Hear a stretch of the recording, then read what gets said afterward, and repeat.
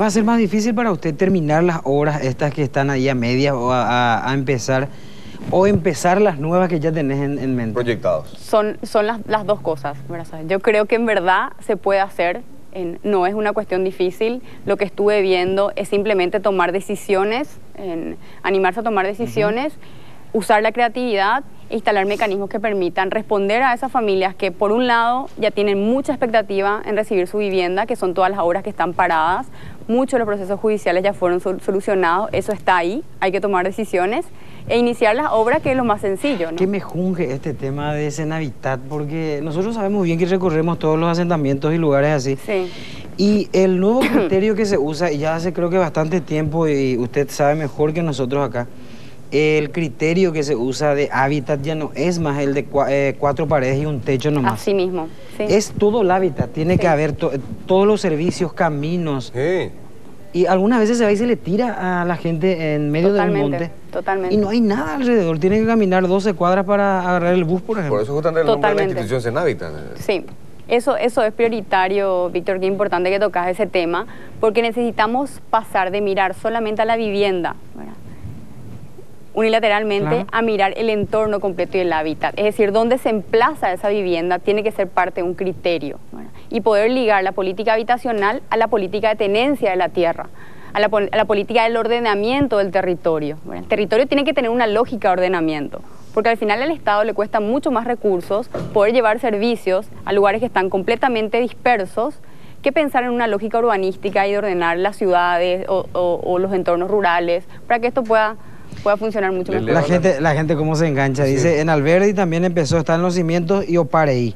Otra señora me dice, mi hija ya depositó su plata en el BNF y hasta ahora nada, dice.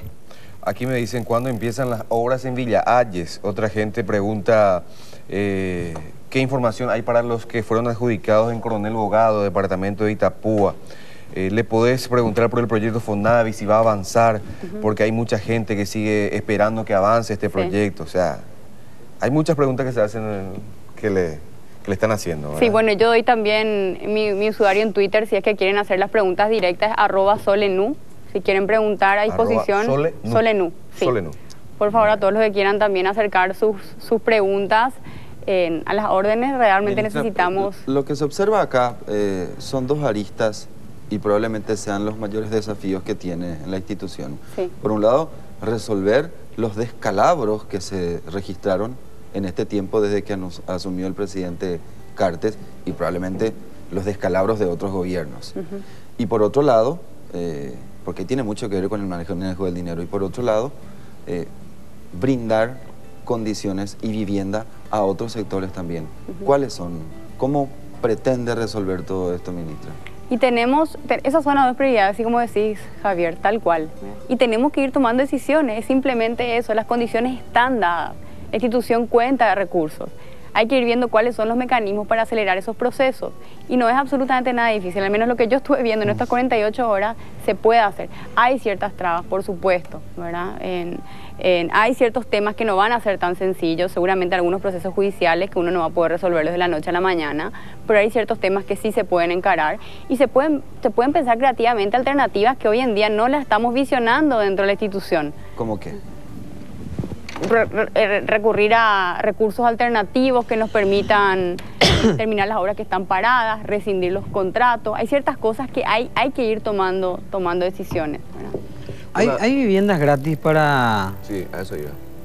¿Hay algún proyecto de vivienda sin costo para, para familias humildes? Bueno, el, programa FONAVI en su nivel 4 es un subsidio del 95%. Eh, sí. Casi gratis. Es, es, prácticamente gratis, en verdad muchas veces ese 5%, como un caso hoy en el sábado que estuve recorriendo en el bosque restaurador, en un asentamiento en, Limpio, que está ahí cerca entre Limpio y Luca en la ruta. La comunidad en ese caso utilizó eh, los recursos que tenían que que, que, aportar para juntar lo necesario para que una familia que no había recibido subsidio pueda tener su vivienda.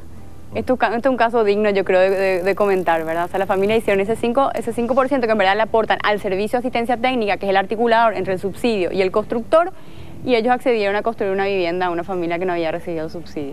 Ahora, una última pregunta, de mi parte por lo menos. Eh, justamente aquí en La Lupa también difundíamos un informe con gente de la construcción que mostraba preocupación por el tema de, que se hay un proyecto de utilización de materiales prefabricados. ¿Qué opinión usted le merece eso? Hay que trabajar con las dos alternativas. Incrementar radicalmente el histórico de viviendas por materiales tradicionales. De hecho, esta licitación que estamos haciendo, 3.040 viviendas para zonas rurales, es por el método tradicional. Y también incursionar en, los materiales alternativos. yo creo, sí, totalmente, pero yo creo que es válido, hay que hacerlo, todos los países de la región lo están haciendo, o sea, no, no, no, no nos estanquemos, eso no, em, dependiendo de la estrategia que se vaya encarando, eso no, no va a perjudicar a la industria cerámica. Tenemos que simplemente abrirnos también a, conocer nuevas alternativas, que también es una oportunidad para el país y que estos materiales incluso se comiencen a fabricar en el país a nivel local. ¿Hay eh, créditos para ampliación de vivienda? Porque acá me preguntan, yo tengo mi casa, pero quiero ampliar, preguntarle a la ministra si Senavita puede realizar esa obra, o sea, que si puede... Hay planes de mejoramientos de viviendas, los proyectos son bastante amplios dentro de Senavitat, estamos también haciendo ciertos ajustes porque hay que reducir para poder focalizar mejor, pero en que se acerquen a la Senavita pueden acceder a la página web y bueno, también di mi, usuario para seguir conversando con la gente, que es lo más importante en los próximos días. ¿Qué desafío, eh, ministra, tomando como base que usted viene de, una organización eh, que trabajó de cerca con familias eh, en situación vulnerable, fueron a construir en muchos asentamientos y barrios casas. Y agregar a tu comentario algo. Soledad viene de un sector que trabaja a un ritmo acelerado. Exacto. Y ojalá, y ya lo mencionó, que la burocracia propia del sector público no sea un impedimento para una buena tarea. A eso me refería, tomando como... Lo que se percibe es que hay mucha esperanza hacia usted, ministra, eh, por facilitar que muchas familias de condiciones humildes puedan tener su casa propia, pero por otro lado usted describió un sistema eh, muy duro que funciona en Senavitat, sin desconocer ya los ataques políticos. Sí, es un desafío sin duda, Javier. Hay gente muy buena adentro. En la institución yo estuve contactando con gente realmente que imprime cierto ritmo al, día a día dentro de la institución. y una cuestión de, juntarnos, de poder reafirmar el norte que tenemos como, como institución rectora de la política habitacional en el país. ¿Qué es lo que nos preocupa? Nos preocupa que hoy en día en el Paraguay hay familias que no tienen acceso a una vivienda digna. Y eso es lo que nos, tiene que mover. Y eso es lo que tenemos que tratar, de que permee la institución y movilizarnos todos hacia lograr ese objetivo. Tenemos que poder lograrlo y tenemos que, insistir en que las cuestiones estén claras y no nos olvidemos de qué es lo que nos tiene que mover y motivar a trabajar dentro de ese hábitat. Para finalizar, ¿va a recibir a los políticos? ¿Va a recibir Las puertas están abiertas, absolutamente todos los sectores de la sociedad. Necesitamos fortalecer la, participación, generar mecanismos de diálogo social y poder conversar acerca de los grandes desafíos que tenemos en nuestro país en materia de vivienda y del hábitat. A una mujer no se le pregunta la edad, pero a una ministra sí. 31 bueno, años. 31 años. ¿La más joven del gabinete? Eh, no sé. Eh, bueno, el ministro Marcelo Soto de la Juventud es, también es, muy joven. Es muy joven.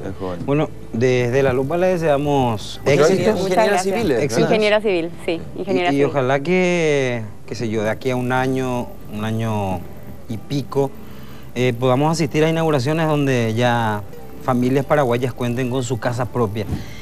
Ese sueño de la casa propia es un sueño enorme del paraguayo.